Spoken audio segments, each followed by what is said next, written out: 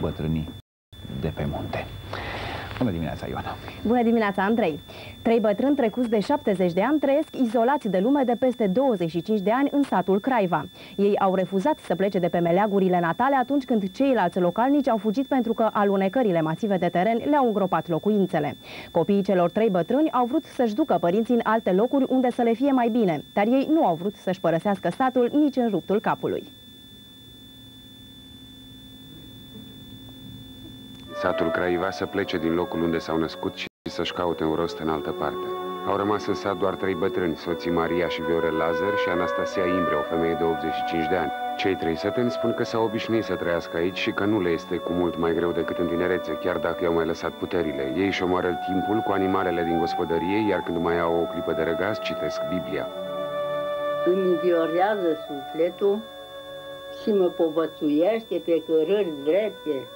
Chiar dacă sunt singuri, cei trei bătrâni refuză să plece de pe meleagurile natale. Copiii lor și-au construit locuințe în alte părți atunci când satul a luat-o la vale și de câte ori vin să-și vadă părinții, încearcă să-i convingă să plece. Bătrânii spun însă că se tem să nu încurce pe tineri și că se vor muta doar când vor cădea la pat. Nu e greu aici, singur. Păi ba e greu, dar pe ce să fac? Unde să mă duc? Mă duc acolo cu ei.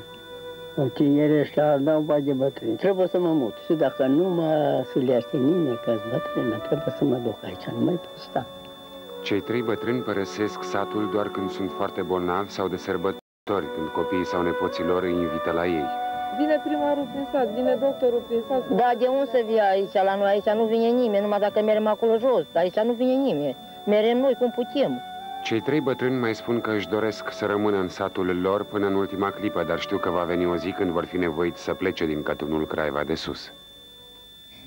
Oamenii care îi cunosc pe cei trei bătrâni spun despre ei că se aseamănă cu puznicii. Bătrânii sunt deseori întrebați cum reușesc să-și ducă zilele singuri. Ei le răspund curioșilor că niciodată nu au cerut mai mult de la viață și că în felul lor se consideră fericiți pentru că pot trăi așa cum le place. Sunt convins că în felul lor sunt uh, fericiți și până la urmă nici nu trebuie acuzați. Normal.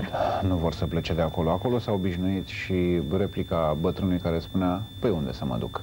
Este că se poate de adevărat. Îți mulțumim foarte mult, Ioana. Ne revedem mâine dimineață. La revedere, pe Numai curând! bine.